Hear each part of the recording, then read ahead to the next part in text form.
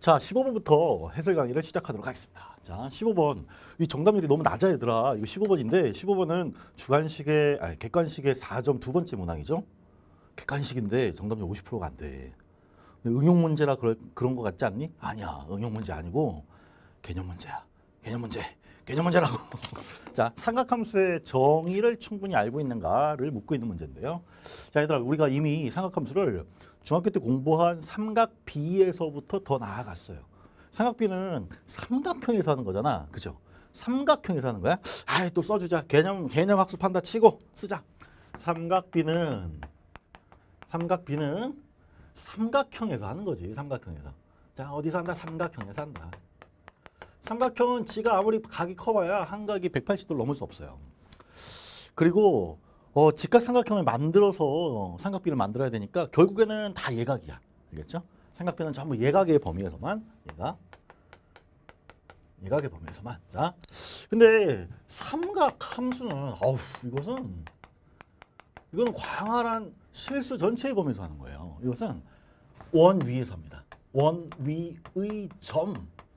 그리고 각은 있잖아요. 그냥 실수 전체. 우리가 이제 어 요걸 라디안이라는 어떤 방어 개념을 도입해 가지고 실수 전체로 확장시켰잖아, 사실 그제? 얘는 이게 누적된 회전하는 각이잖아. 회전하는 각. 앞으로 뒤로 앞으로 뒤로. 그래서 얘는 실수 전체의 각. 실수 전체의 각. 이제 각이 뭐 한 360도뿐만 아니라 720도 이런 것도 가능하죠. 라디안으로 치면 2파이, 4파이 다 되고 음의 각도 있어. 시초선을 기준으로 해서 이렇게 뺑 앞으로 도는 거 시계 반시계 방향으로 도는 게 플러스 시계 방향으로 도는 게 마이너스야. 자, 실수 전체의 각을 다루는 거지. 그지? 원위의 점에서 뭘 활용한다? 그렇지. 좌표를 활용한다. 아, 이렇게까지 개념 설명 다시 한다 얘들아. 왜냐하면 삼각함수를 너무 우리가 익숙하지 않다. 그러니까 삼각함수를 너무 우리가 어렵게 생각하는 경향이 있어서 그래. 자, 그래서 봐. 이렇게 가지고 직각삼각형 만들어서 이건 알 거야. 이거 세트 잡으면 얘가 얘가 그 녀석이 뭐 사인이고 코사인이고 탄젠트고 이렇게 되는 거죠.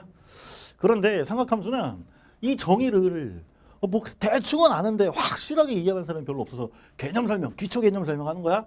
오늘 그려, 그죠? 오늘 그려서 차, 이게 중심이 원점인데 반지름은 얼마여도 상관없어요. 반지름 R이라 하겠습니다. X축의 양의 방향을 시초선이라고 부르고 시초선, 시초선이라고 부르고 그 녀석에 이렇게 원위의 점에 이름이 P라고 하잖아. 그러면 이걸 동경이라고 거야. 동경. 그래서 야 우리가 셌다. 그러면 얘랑 똑같잖아. 맞아. 예각인 상태에서는 얘랑 뭐 달라질 게 없어요. 그런데 얘가 이쪽으로 가도 잊지 마. 개념 설명하는 거야. 다시 봐. P가 저쪽 어떤 사분면에 넘어가도 괜찮고 열 바퀴 돌아온 녀석에도 괜찮아. 모든 모든 각은 오른쪽 X축의 양의 방향이 이 오른쪽에 반직선 있죠? 이게 시초선이 되는 거야. 원점에서 시작해서 X축의 양의 방향으로부터 재는 거야. 이렇게 하는 거야. 무조건. 알겠니? 요게 세타야. 요게 세타. 요게 세타. 열 바퀴 돌아와도 열 바퀴 돌아온 그 녀석이 여기 도착했다 하면 이렇게 표현하는 거야. 이렇게. 이해돼요? 절대 요쪽 각으로 표현하는 게 아니야. 요쪽 각으로 표현하지 않아요. 그죠? 그게 아니라 요, 요, 요 방향. 시계 반대 방향으로 X축의 양의 방향과 이런 각이에요. 그러면 자 정의 어떻게 되지? 요 점이 X좌표, Y좌표 이렇게 있다고 하면 그죠? 반지름 R이니까 동경의 길이를 우리를 R이라고 할 수 있어요. 동경은 이 원의 반지름이죠. 자 그때 코사인 세타가 뭐가 된다? 코사인 세타는 R분의 X 그냥 동경의 길이 반지름, 반지름 분의 반지름 분의 뭐라고요? X좌표, 좌표, 좌표, 좌표. 요 점에 X좌표, 좌표, 좌표. Y좌표, Y좌표 이게 뭐예요? 사인 세타. 사인 세타는 사인 세타는 R분의 Y 좌표, 좌표, 좌표, 좌표, 좌표.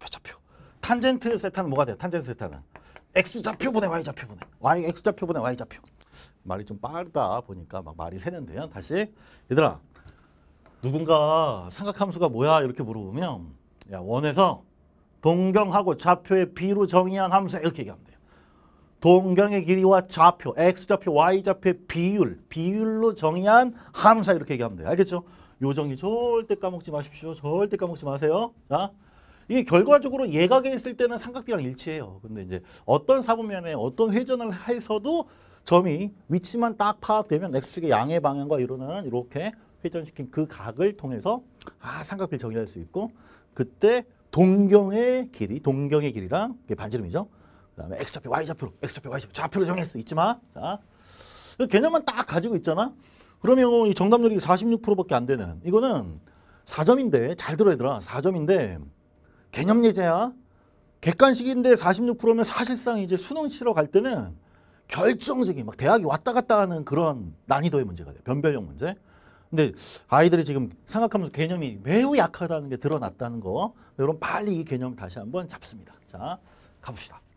뭐 별거 없어요. 뭐 y는 이래요. 그래 뭐 y 그러면 y 좌표 알려준 거잖아, 그지? 그런데 잘 봐. 원이 하나는 반지름이 얼마라 그랬어요? 첫 번째 원은 반지름이 좀 커요. 여기 여기 첫 번째 원이구나. 자, 원 두 개 나왔는데 반지름은 하나가 루트 5고 하나는 3이에요. 자, 그래서 아 그래? 나는 반지름이 루트 5야. 그렇죠? 얘는 반지름이 3이에요, 3. 이렇게 된 거죠. 뭐가 궁금하냐면 잘 봐. 반지름 루트 5짜리 원에서 작은 원이죠. 동경이 생겼어. 그죠? 동경. 그리고 각이 이렇게 정의된 거지. 여기가 무슨 각이에요? 여기 알파야, 알파. 여기 알파지? 알파. 그거 봐. 둘 다 이사분면에 있잖아. 뭐 무슨 상관이에요. 그죠? 잘 봐. A점에 뭐가 필요하겠어요? 좌표가 필요하지. 왜?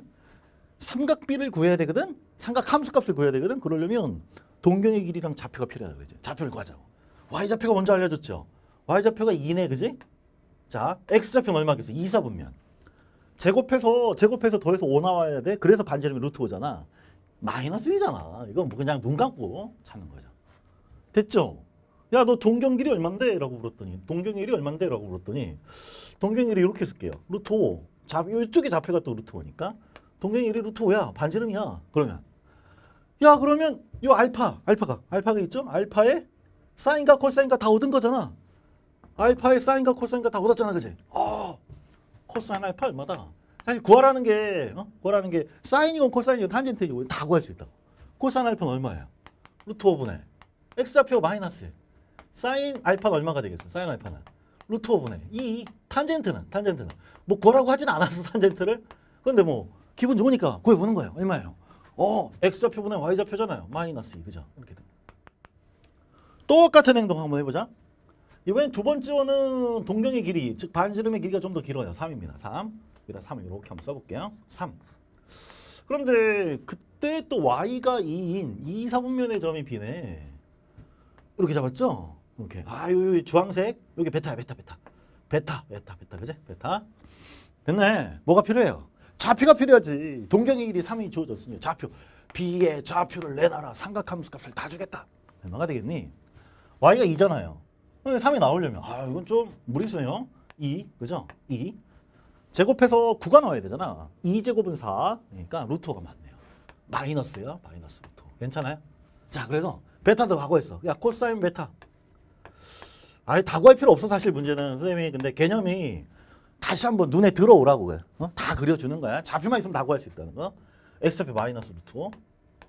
사인의 사인 베타는 3분의 얼마? 2. 탄젠트 베타는 얼마? 탄젠트 베타는 2분의 아니죠. 마이너스 루트 5분의 2 이렇게 되는 거죠. 그죠? 자, 여기서 뭘 원했냐면 아, 딱 봤더니 문제에서 어, 사인 알파, 코사인 베타를 구하래요. 사인 알파, 사인 알파 여기 있네요. 사인 알파랑 코사인 베타의 곱을 구하래요. 아, 두 개 곱하래. 우와, 지워진다. 그죠? 루트 5, 루트 없어지니까 마이너스 붙어 있는 3분의 2가 정답입니다. 마이너스 3분의 2. 개념 문제 맞지? 개념 문제예요. 자, 뭐 개념 이렇게 까먹었을 때 다시 환기하는 거지 뭐. 자,